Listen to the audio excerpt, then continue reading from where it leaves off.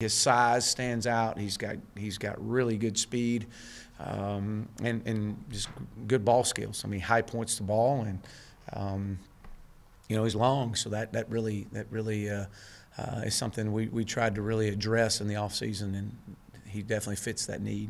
Going to be a really good football player.